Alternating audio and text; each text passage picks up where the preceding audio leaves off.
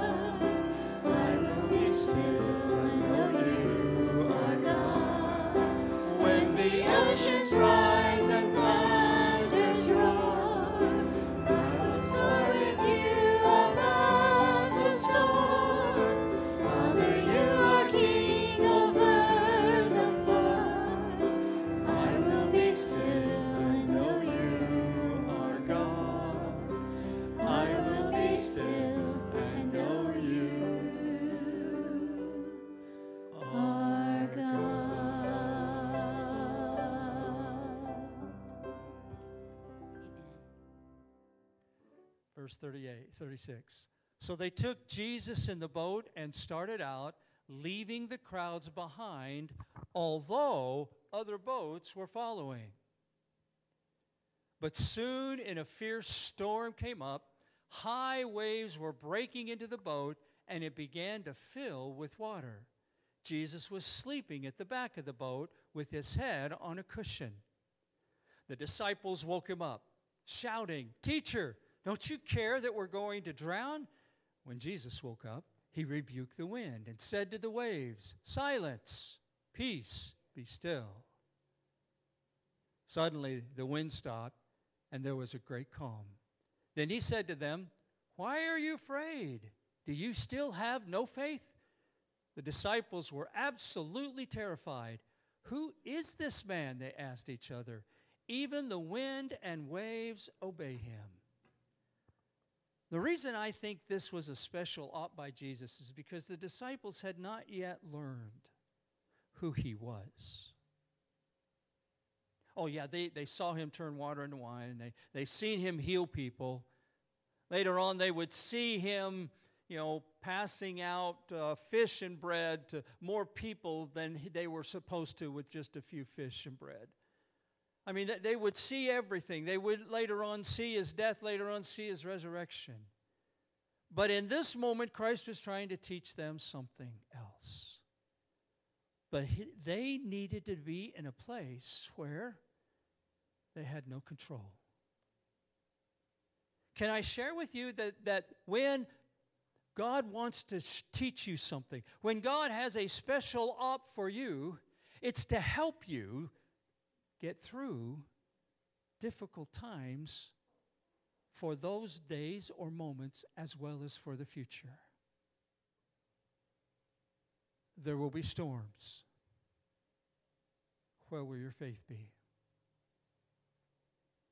Now, it doesn't mean that if you have faith, it still won't be hard. It doesn't mean that you have to run to Him and say, Lord, don't you really care about me? He knows how we are. He doesn't mind us being human, but He wants us to learn that in the moments when we have no control, He does. So there will be storms. You can just mark that in your Bible. You're going to have storms. But where will your faith be? And so Jesus is training his disciples. He wants them to know there'll be storms. But the big question is will you have faith?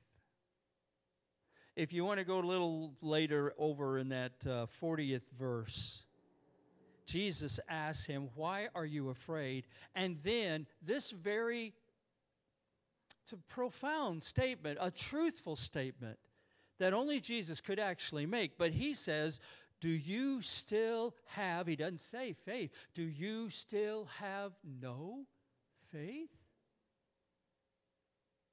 It's a, it's a really an indictment against the disciples. They're following Jesus. Why would Jesus even confront them? Because this is a moment to teach them that when they don't have control, Jesus does. And it's important for us to know that our faith, even though it may be small and tiny, even if a, a, a, a faith the size of a mustard seed can tell that movement to be removed and it will be gone. Just imagine the little faith, infinitesimal faith that we have had at times. And we said, Lord, where are you? How, how come you're not fin- doing something? How are you not praying? How are you answering this prayer? The storm, there will be storms. Where will your faith be? That's the question. And then here's the question we have for him Jesus, don't you care?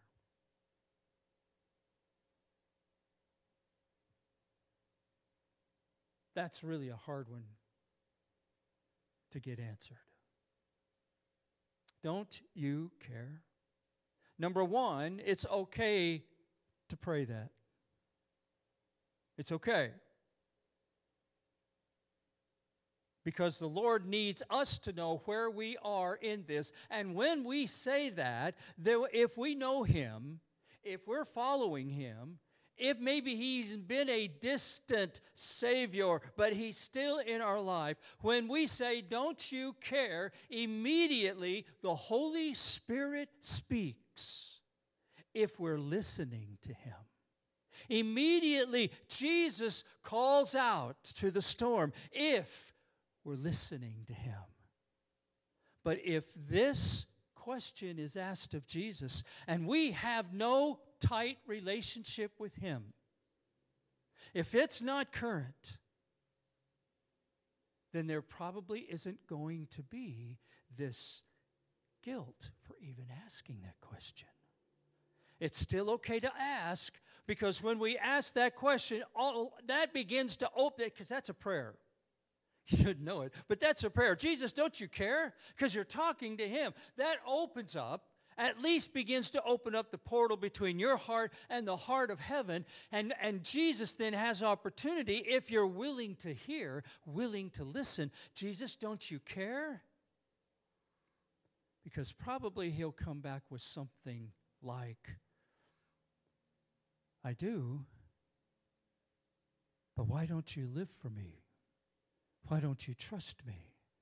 Why aren't you committed to me? Where have you been in your life over the past year? If you're listening. If you're not listening, and you want to go about doing your own work and you want to accuse Jesus, Jesus, don't you care? Oh, you'll be able to pray that prayer with a lot of angst and a lot of pain and hurt, even bitterness. But praying that prayer may be the opportunity Jesus has to speak to you and say, I have been here all along. But you haven't listened. You haven't obeyed. You haven't been committed. I like this question because there are so many different ways that Jesus can help us wherever we are in our growth.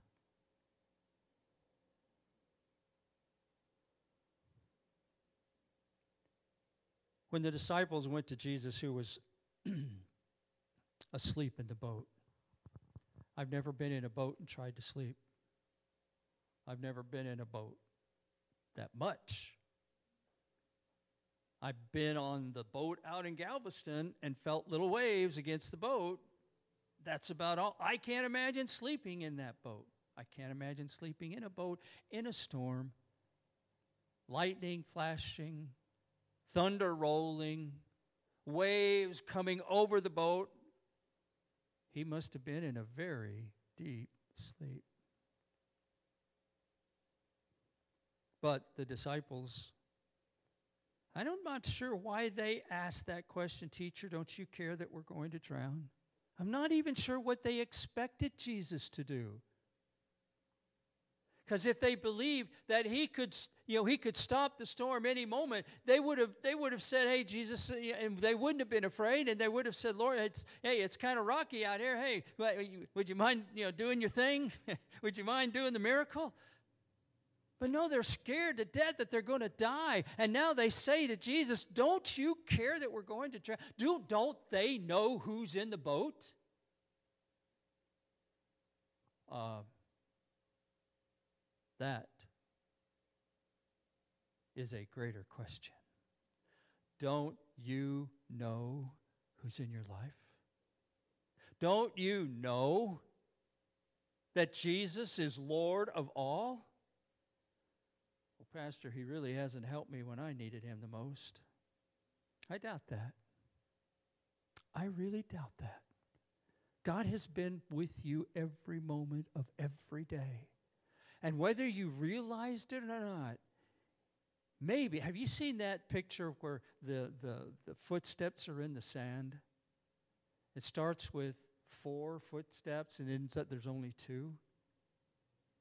And the story behind that is that, you know, the, the, the, the, the guy was praying, Lord, where are you? I'm just doing this by myself.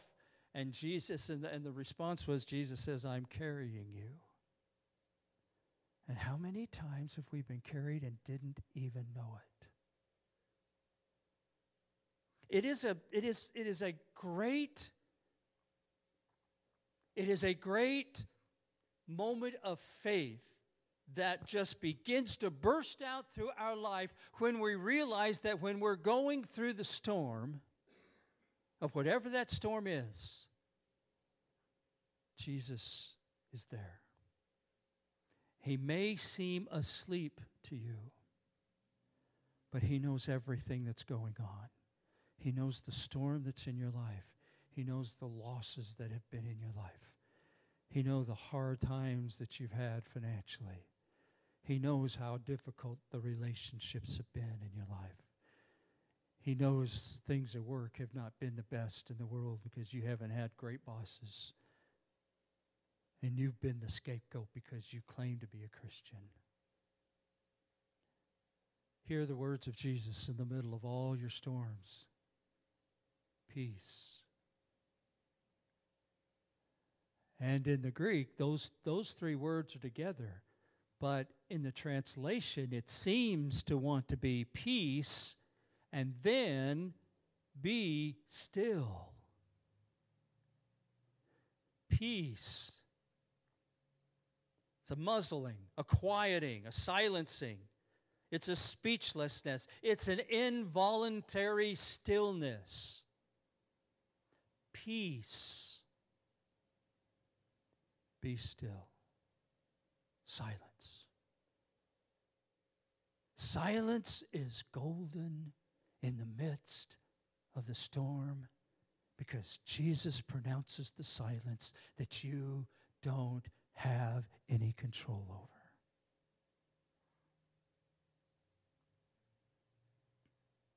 No, this is Shelley's birthday, if you didn't know.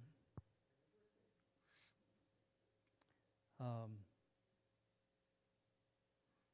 August 15 through 24, 25, I didn't know if I was going to get to celebrate her birthday. Many times that I prayed, it was just uh, it was just a difficult thing in those first few days. So when I saw, saw her come out of the operating room the second time, it didn't look like anything was good was going to happen at all. Doctor came up to me. He said, I know she doesn't look very good right now, but just have hope. And he was a Jewish guy. Just have hope. I think that's what doctors and nurses are supposed to be for in the hospital. Not to wake you up at 3 o'clock in the morning, but to let you know there's hope.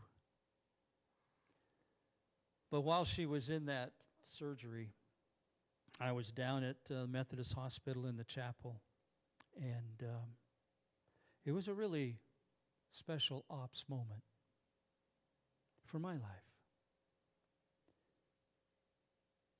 I uh, didn't know what life would be like after Shelley. I didn't want to accept it. I didn't know didn't know how it was going to turn out and I just I was scared. I didn't know what was going to happen. I tried to put on a good face. I tried to be strong, but in that chapel I I just lost it all. I said, Lord, I can't do anything for her. I don't know how to help her. And uh, that's when I heard Jesus say, You can't. I can. Well, what do I have to do, Lord? Then he reminded me of what happened in the Garden of Gethsemane. And I shared this with you when we, in the Sundays after. I had to pray the prayer that Jesus prayed in the garden. Not my will, but your will be done. I think in those moments when Jesus prayed, he understood the, the stillness and the peace of his own relationship with the Father, just as he was trying to teach his disciples in this moment when they were on the water, on the lake, at night, in the midst of a storm, when it looked like nothing good was going to happen. And Jesus, He spoke to the winds, He spoke to the waters, and He said, Peace, be still. And as I prayed in that chapel, it took a long time to say, Your will be done, not mine because I could never see my life without. I could see my life with Jesus, but not without her. But when I said, Not my will, your will be done, I broke from trying to handle all of that myself. And so many people prayed, and having given the strength and encouragement, and people praying and you were here and you helped and you, you encouraged and you strengthened me. But what I had finally was a real peace in the midst of a storm that I didn't have any way of getting out except by His grace. And I had to continue to trust Him. And to this day, I I've kept her head and her body in his hands, knowing that it's his will always. He will always do in her what's best and what's right. That's, that's what we have to hear when we go through our most difficult, hard times, when it seems like it's darkness and there's no light.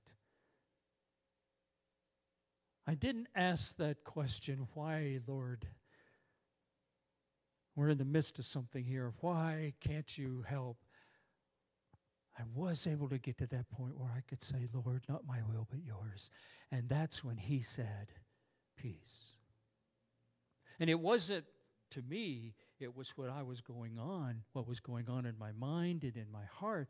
I could not I could not do anything with that and he said peace.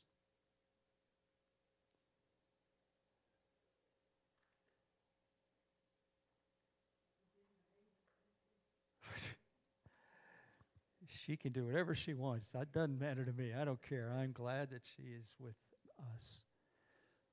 Why are you afraid and do you still have no faith? When Jesus says, Peace be still, he always has that little caveat that says, Why are you afraid? I've been here the whole time. I'll help you the whole time. I'll be with you. Let's stand. Let's sing this song as our benediction.